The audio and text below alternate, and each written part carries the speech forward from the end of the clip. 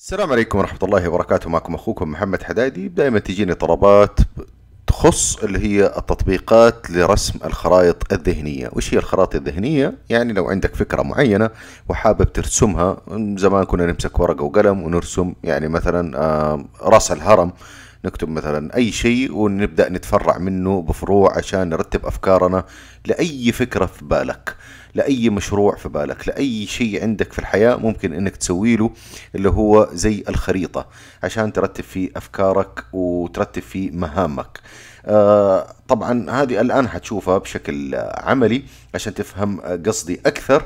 آه التطبيق هذا متوفر لأجهزة الآيفون والآيباد وأيضا في منه لأجهزة الأندرويد ولكن مو نفس التطبيق ولكن نفس الفكرة. وكلها يعني في أفكار جدا يعني في تطبيقات جدا كثير كلها تحمل نفس الفكرة ولكن قلت لكم أنا أسهل تطبيق بالنسبة لجهاز الآيفون وأسهل تطبيق بالنسبة لجهاز أيضا الأندرويد وغير كذا. في مواقع بحط لكم موقعين أيضا مجانية تقدر تسوي من خلالها بدون آه، حاجة إلى آيفون أو أندرويد تقدر من خلال الكمبيوتر أو تقدر من خلال أيضا جوالك عن طريق هذه المواقع تصمم وتطبعها أو آه، تسوي لها شير على أي موقع من مواقع التواصل الاجتماعي أو تحتفظ فيها حتى لنفسك. فخلينا نشوفها مع بعض. هذا هو التطبيق الخاص بالأندرويد. هو وهذا الخاص بالآيفون. كلها بترك لكم هي بصندوق الوصف أسفل الفيديو. هذه فكرة مبدئية لعمل التطبيقات. يعني لو عندك فكرة معينة تقدر تصممها بهذا الشكل والآن بوريكم كيف نقدر نصممها. طيب المو... المواقع هذه هي الموقع. مثلا تقدر تسوي لك حساب يصير في كل مرة من هنا تقدر تسوي آه تسجيل وهنا تقدر تسوي ساين ان اللي هو تسجيل دخول وبعد وهنا ممكن تسوي بدون حساب. ولكن أنصحك تسوي حساب لأنه كل مرة تدخل آه تقدر تعدل عليها وبهذا الشكل. هذه هي فكرة الخرائط الذهنية. لو عندك فكرة أساسية وتبدأ تتشعب منها الأفكار آه يعني تسوي لها أشياء جدا كثير.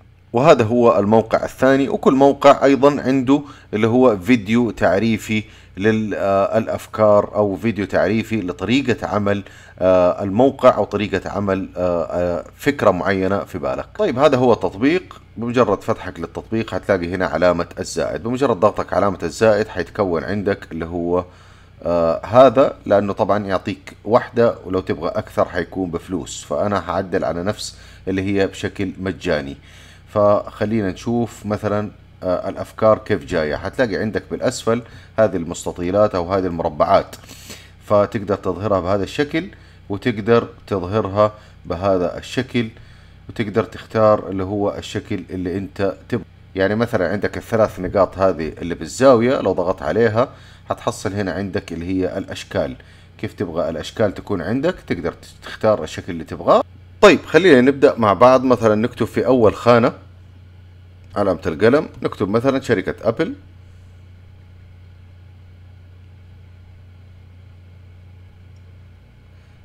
إيش فيها شركة أبل؟ مثلا عندها أجهزة ماك. okay. مثلا هنا عندها آيفون.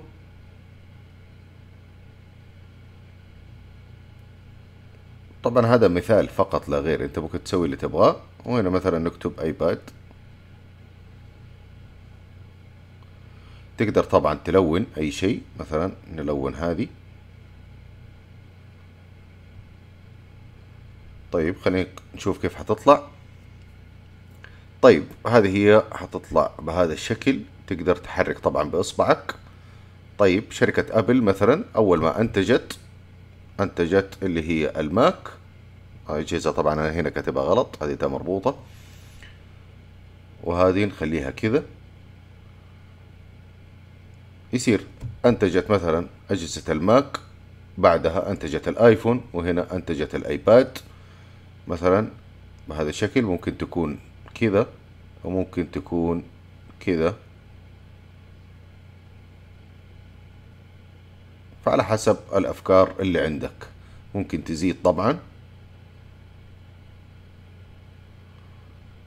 هنا بيقول لك كيف تبغاها. هنا تغير اللي هو الخط أو تكبره تصغره. تلوين. هنا تقدر أيضا تضيف صورة التاتش ايمج اللي هي إضافة صورة. تقدر تضيفها هنا. وتقدر تعدل هنا بكل سهولة. تبغى مثلا يكون كذا okay. حيصير بهذا الشكل. وعاد أنت رتب أفكارك ورتب شجرتك ورتب كل شيء. حتى ممكن تسويها شجرة العيلة. ممكن تسويها بهذا الشكل. طيب بعدها مثلا share. تبغاها ك PDF تبغاها كصورة تبغاها هذا برنامج Visio. هذا هذا برنامج طبعا ما حيعرفه غير اللي قد استخدمه قبل كذا أو درسوا قبل آه، درسوه تبعون الكهرباء اللي درسوا الكهرباء. آه، هنا تبغاه كمربعات تنشره هنا تبغاه كنقاط تنشره يعني في عدة خيارات.